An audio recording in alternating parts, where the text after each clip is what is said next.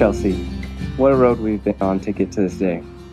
We've been through so much since we started this relationship. Through it all, our love has persevered. I remembered before we started dating telling Mark that I thought you would be a really fun person to date. Boy, fun is a word to describe our relationship and lives these last few years. Who knew a random New Year's Eve party could have turned into this? Six years later, and it's been worth the wait. I love that you are goofy, intelligent, and always up for an adventure.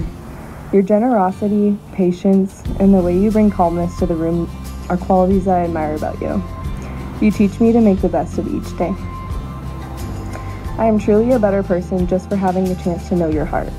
I can't wait for the both of us to continue learning and growing as a team. To share this life with you has been an absolute privilege. When I think about us getting married, I don't think about our beautiful life changing. Instead, I think about continuing, continuing what we have built together. When I look at our boys, I see so many of my favorite things about you that shine through them. You are a father and a partner I fall more in love with every single day. I'm thankful for every day with you. Your strength and commitment to me and our family is inspiring. I wake up every day wanting to love you more. From this day forward, these are my vows to you. Promise to love you faithfully more each and every day. Promise to protect you, provide for you and our family. Promise to always have fun with you, and I promise to always be there for you even in our toughest times. I love you, you are my best friend, and I promise to always put you first.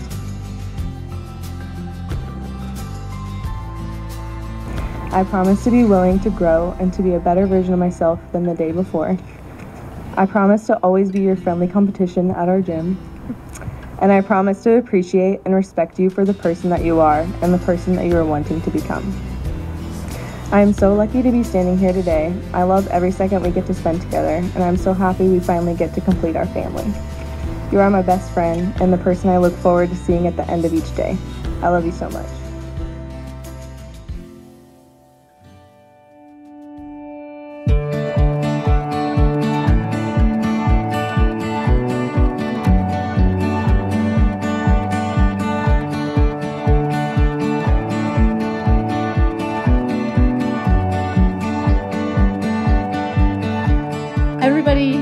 Knows Chelsea just knows she's one of the most amazing people in the world. Um, she's aggressively nice, like super aggressively nice. she takes the time to really get to know you as a person. She asks like deep questions, um, but and remembers and follows up, um, and just makes you feel like you're instantly her best friend. And it's just an amazing, she's just an amazing human being. Um, and I'm just so grateful um, that she is all of those things and that I have gotten to be her friend um, in the last few years. Um, I never knew Chelsea before she met Stephen, so I can't even imagine her without Stephen. Um, he's just the perfect balance for her. You have remained so dedicated to one another, and everybody in this room, you know, that's like a running theme that you have never given up on one another. You've been through so much um, so quickly. Um, and we just all really admire you, and it's just such an honor for us to be here with you and celebrate your family. Um, and thank you so much for inviting me to be part of your day. during that time, you know, you have a lot of friends come and go throughout your life. Never know which ones are going to stick, but I always knew Stephen was going to stick.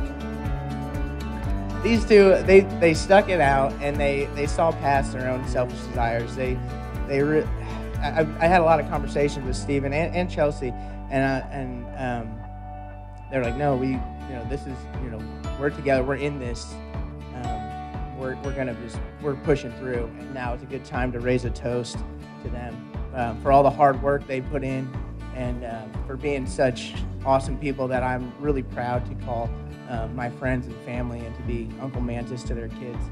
Um, so cheers to you guys. I, I love you guys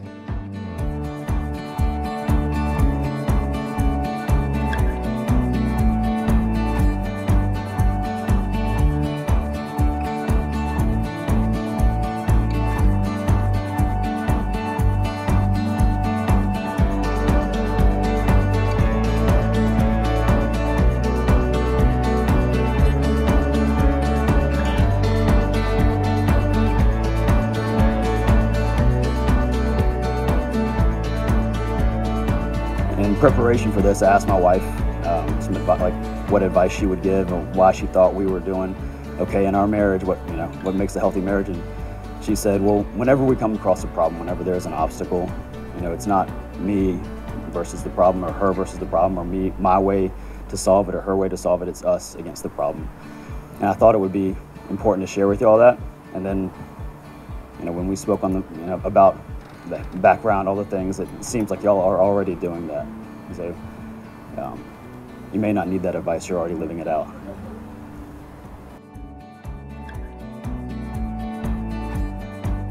And the words we say to ourselves and to the others around us, they matter. So why don't you just, for each other, I want you to always think to speak words of hope, love, commitment, joy, trust, and patience. If you speak life, eat those fruits. The immediate following verse in verse 22 says, The one who finds a wife finds what is good, he receives favor from the Lord.